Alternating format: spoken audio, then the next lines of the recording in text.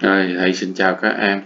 Hôm nay là ở tiết số 6, thầy sẽ hướng dẫn chúng ta là thực hành à, nói dây dẫn.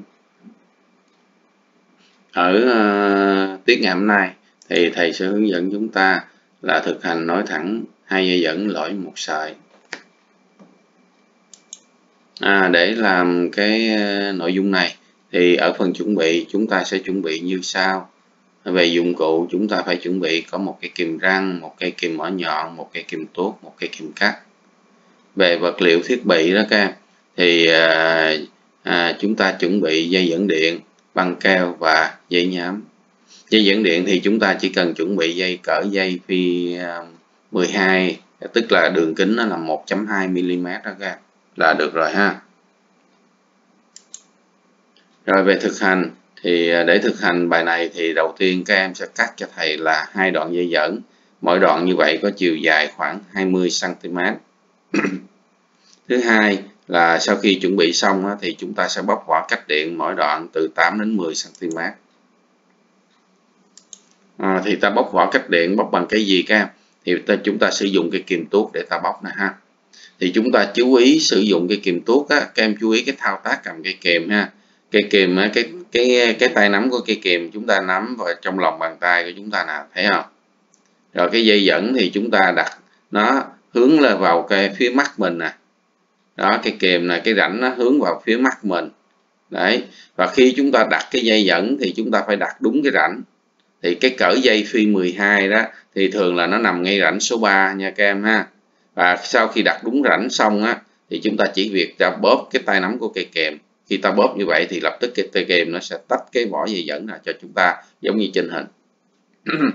À, chúng ta tuốt cho thầy như vậy là hai đoạn dây có chiều dài từ 8 đến 10 cm mỗi đầu nha.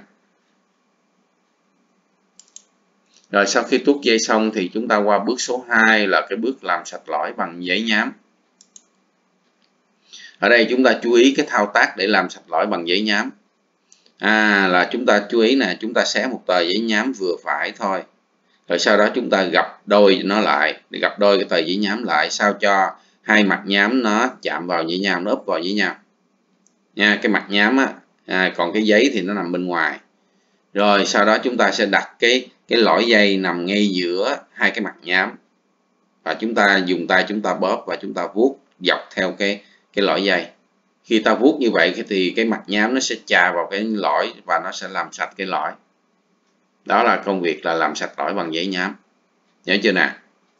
Thì ở đây lưu ý chúng ta là không được dùng dao hoặc kìm cắt cạo vào cái lõi dây để làm sạch lõi. À, thầy lưu ý chỗ này. Không được dùng dao hoặc kìm cắt cạo vào lõi dây để làm sạch lõi. Tại sao như vậy? À, nghe thầy giải thích nếu chúng ta dùng dao hoặc kìm cắt mà cạo vào cái lõi dây thì nó sẽ để lại những cái vết cắt trên cái lõi. Vết cắt này nông sâu là tùy cái lực của mình cạo. À tuy nhiên khi mà cái lõi dây mà nó bị những vết cắt như vậy á, thì trong khi mà mình thực hành quấn dây á, thì chính những cái vết cắt này nó sẽ làm cái lõi dây nó bị gãy. Nó bị gãy ngay cái vết cắt và khi nó vậy gãy như vậy thì coi như mối nói mình không có làm được, không hoàn thành rồi, không đạt yêu cầu, nha.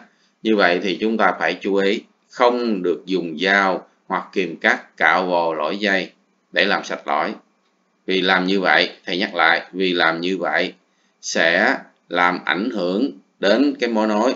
Nó có thể làm gãy mối nối. Nhớ ha. Rồi, sau khi chúng ta làm sạch lõi xong, thì ở bước thực ba là bước thực hành nối dây. Thì chúng ta sẽ làm như sau. Bước thứ nhất là chúng ta sẽ bẻ vuông góc hai dây và lòng chúng vào nhau như trên hình. Đây, dây A, dây B. Mình bẻ vuông góc dây A, bẻ vuông góc dây B. Rồi, chúng ta lưu ý về cái kích thước ở đây thầy cho.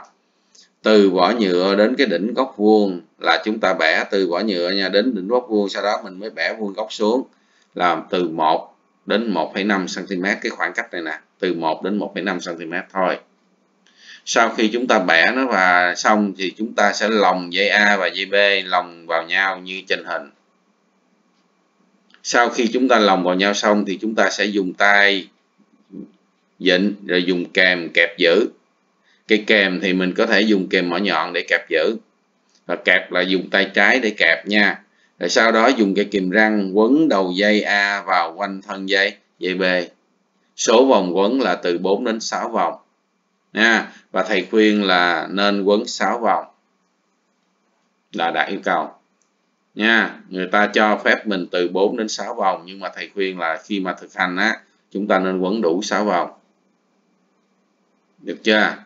Rồi sau khi chúng ta quấn một bên xong thì bên còn lại chúng ta cũng quấn tương tương tự thì chúng ta sẽ hoàn thành cái mối nối giống như chơi hình số 3 rồi các em có thể là xem cái, tức là sau khi mình hoàn thành mối nối xong á, thì mình xem cái hình này nè. Đó, là người ta dùng hai cây kèm, một cây kẹp, một cây xoắn. À tại sao có cái thao tác này nữa? Hồi nãy mình xoắn rồi, mà giờ tại sao lại có thao tác này? Thì nghe thầy giải thích. Trong quá trình mình xoắn như vậy á, thì có thể là nó không được chặt à vậy thì lúc này mình mới làm cái công việc cuối cùng là chỉnh sửa lại đó giống như chỉnh sửa lại đó.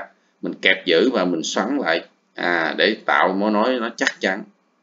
Và nếu mà mối nối nó bị cong vênh thì mình có thể bẻ lại cho ngay. À, lúc ở cái bước này nha các em ha. Rồi các em có thể quan sát cái kỹ nối dây à,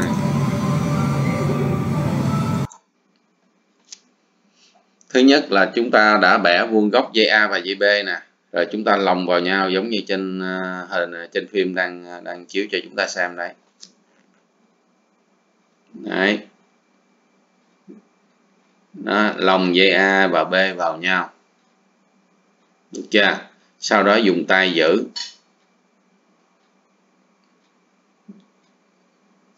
Đấy dùng tay giữ. Sau đó là dùng tay trái à, dùng tay trái cầm cái kìm mỏ nhọn kẹp.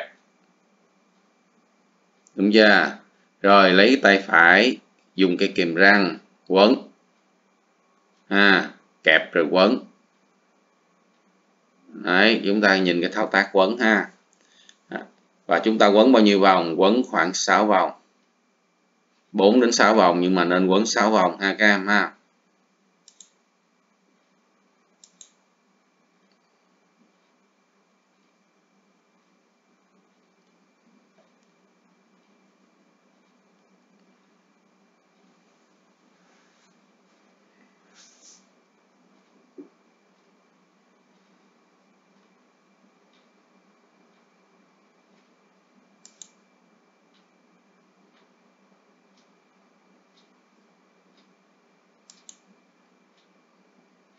Đấy, sau khi quấn xong thì em thấy cái đầu nhọn nó còn dư đó. Mình cắt bỏ đi dùng kìm cắt cắt bỏ. Rồi dùng kìm răng à, quấn cho nó ôm sát vào để làm tù cảnh sát. Nhớ ha. Rồi sau khi quấn xong như vậy thì phần à, đối diện mình làm tương tương tự. Đấy phần đối diện mình làm tương tự.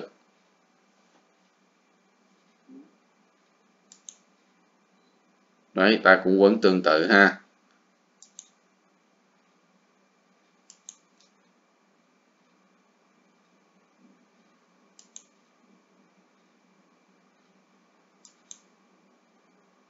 Ta cũng làm tù cảnh sát.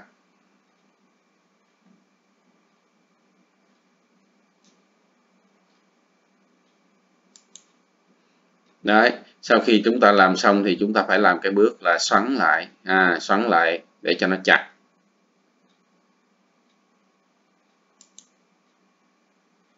Rồi chúng ta bẻ cho nó nói nó thẳng lại. Như vậy chúng ta đã thực hành xong. Được chưa các em ha? Rồi sau khi chúng ta thực hành xong thì à, chúng ta qua bước số 4 là chúng ta sẽ kiểm tra mối nối có đạt yêu cầu kỹ thuật hay không. Thì các em quan sát ở đây thầy có 3 hình, hình 1, hình 2, hình 3. Thấy hình nào đạt yêu cầu và hình nào không đạt yêu cầu tại sao ha, các em có thể giải thích. Và nếu mà bạn nào mà có xem kỹ bài số à, 5 mà ở tuần trước á, tuần 5 á thì cái phần này mình trả lời dễ dàng ha các em ha à, dĩ nhiên là hình số 1 là món nói đạt yêu cầu. À, vì tại sao đạt yêu cầu? Nhìn nè đủ số vòng quấn các vòng quấn nó khít chặt món nói đẹp ha. Rồi hình 2 hình 3 không đạt yêu cầu. Tại sao? Giờ thầy nói hình 3 trước. Hình 3 thực ra là ở đây quấn cũng đẹp lắm cũng chặt lắm rồi các em. Nhưng mà tại sao nói nó vẫn chưa đạt yêu cầu? Vì chỗ này nó bị hở nè như vậy nó hơi xấu hơn so với hình này thôi được chưa? Còn hình số 2 thì mới là nghiêm trọng. Nha, hình số 2 mới là nghiêm trọng. Mỗi nó hối hở quá nhiều, dẫn đến nó lỏng lẻo, không an toàn điện, không đảm bảo độ bền cơ học. Rồi thêm một cái lỗi nặng nữa, đó là cái đầu nhọn của mối nói nè. Bạn này không có làm tù cảnh sát, không có cắt gọn lại, không có bóp cho nó ôm chặt vào cái lõi mà để như vậy thì nó nguy hiểm nha càng chú ý. Rồi như vậy chúng ta lưu ý chưa? Mà ở hình số 2 là hình số 3 không đạt yêu cầu. Chỉ có hình số 1 đạt yêu cầu thôi ha. Hình số 2 không đạt yêu cầu lý do tại sao quấn lỏng lẻo?